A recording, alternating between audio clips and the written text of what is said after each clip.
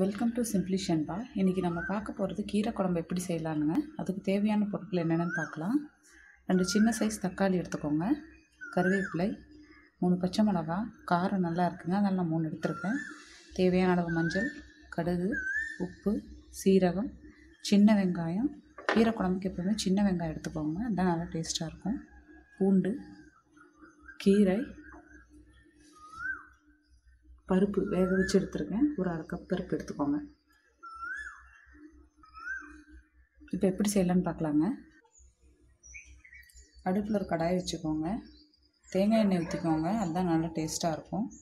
எண்ணெய் சூடாயிருச்சு. கடுகு போட்டுக்கலாம்.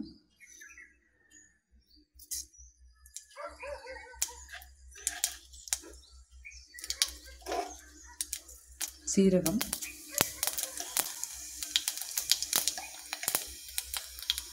நல்லா பொரிஞ்சிருச்சு சின்ன வெங்காயம்.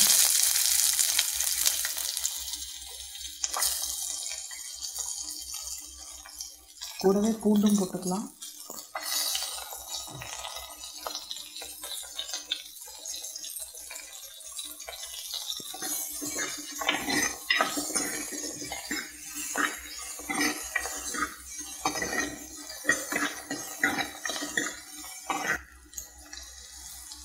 மஞ்சள்தூள் போட்டுக்கலாம்.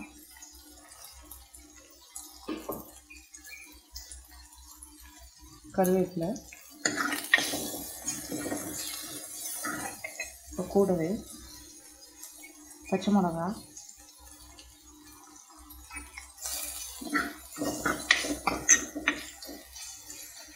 கொஞ்சம் வணங்கிடுச்சு இல்லையா? தக்காளி போட்டுக்கலாம்.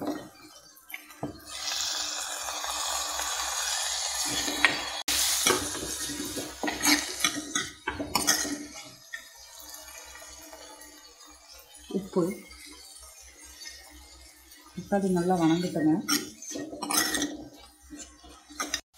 இப்போ தக்காளி வெங்காயம்லாம் நல்லா வணங்கிடுச்சுங்க. கீரை ஆட் பண்ணிக்கலாம். கீரையை பாருங்கள் பொடியாக நான் நறுக்கி வச்சுருக்கேன். நான் இதில் சேர்த்துருக்கிறது கோவைக்கீரை பொன்னாங்கண்ணி கீரை பருப்பு கீரை. நீங்கள் வேணும்னா சிறுகீரை அரைக்கீரையும் போட்டுக்கலாங்க. ரொம்ப நல்லது. இப்போ கூட மிக்ஸ் பண்ணிக்கலாம்.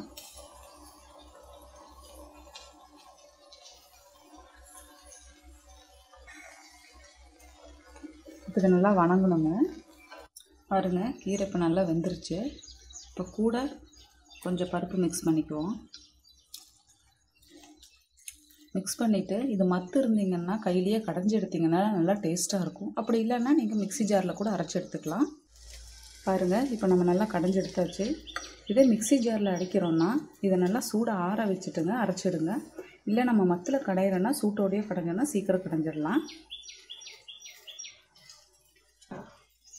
எப்போவுமே இதை அரைச்சி எடுத்துகிட்டு மேலே கொஞ்சம் தேங்காய் எண்ணெய் ஊற்றிக்கோங்க அப்போ தான் நல்லா மணமாக இருக்கும். மிக்ஸ் பண்ணி விட்டுருங்க நல்லா.